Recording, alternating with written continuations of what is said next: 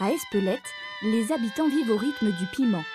Les épices s'affichent dans toutes les boutiques de souvenirs, sèchent sur les façades des maisons, et l'or rouge colore les champs du Pays basque. Le piment d'Espelette, Gilbert en est tombé amoureux il y a six ans.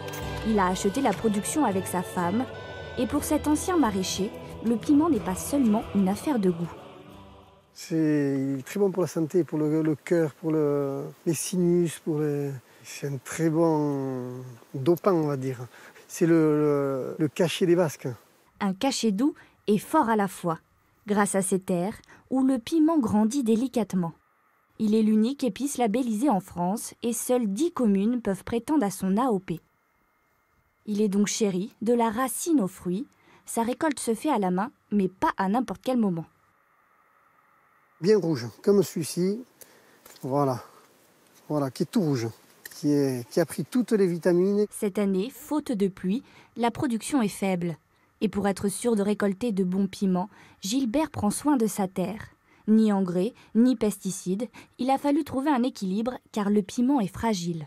On essaye d'écouter ce que nous dit la terre. On s'aperçoit que c'est pas en apportant des engrais à outrance qu'on fait, euh, qu'on fait du meilleur résultat, et loin de là. Il faut se dire que nos enfants, il, faudra qu'ils vivent avec, euh, avec notre terre. Si aujourd'hui on empoisonne la terre, demain, euh, qu'est-ce qu'ils mangeront? La récolte du piment ne dure que deux mois et demi et se termine aux premières gelées. C'est dans cet atelier que Gilbert les transforme. Il décline l'épice sous plusieurs aspects, mise en bocaux ou encore cordage de piment frais destiné à être séché. Mais ce que le producteur préfère, c'est la préparation du goshoki, une sauce emblématique du Pays basque. Il y a des herbes, du sel, du piment, du poivre. Après, on y met de l'ail, on y met de, des branches de thym et le vinaigre. Chaque ingrédient infuse donc dans le vinaigre. Il faut patienter 24 heures pour obtenir le résultat final. Belle petite bouteille de goshoki, de vinaigre, donc euh, pour mettre viande des poissons à mariner ou alors en, déglaçage, en sortie de poêle, en sortie de plancha, en sortie de four, sur une viande, un poisson, également en guise de vinaigrette. C'est une sauce qui est douce, hein. d'où le nom goshoki, qui veut dire doux, tranquille. Voilà. Et pour partager sa passion, Gilbert a ouvert la première boutique de vente directe du village. Une grande variété de produits, toujours conçus avec la même exigence.